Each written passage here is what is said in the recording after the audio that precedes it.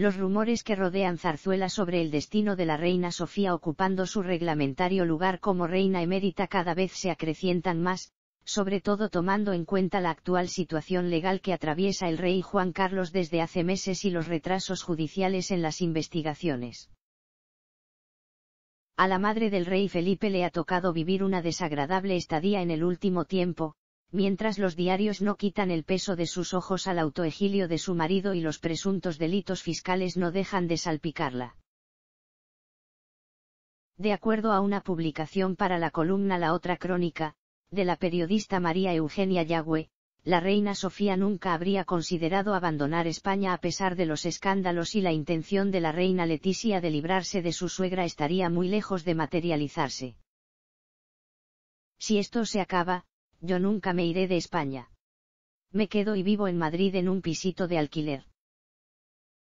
Esta declaración circulaba luego de un falso rumor sobre la intención de la reina Leticia de mandar a su suegra fuera del país, que coincidió con un viaje privado a Grecia por parte de Sofía.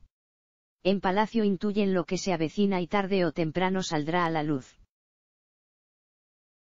Doña Sofía se acerca a una invitada con quien ha tenido buena relación durante los años que su marido prestó servicios a la corona, comentaba la publicación. De acuerdo a Yagüe, a pesar del escándalo que rodea a la corona, el exilio no sería una posibilidad para la emérita, aunque sea allí a donde apunten los focos, debido a la situación actual de su marido. La columna además describe que la reina no estaba dispuesta a sufrir un nuevo exilio, aunque se simulase como una expatriación voluntaria.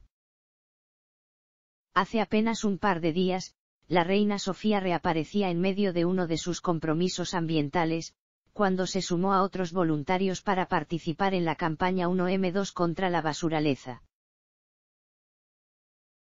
En la actividad la reina se desplazó al Soto de las Juntas de Madrid para formar parte activa de una recogida de residuos abandonados en plena naturaleza.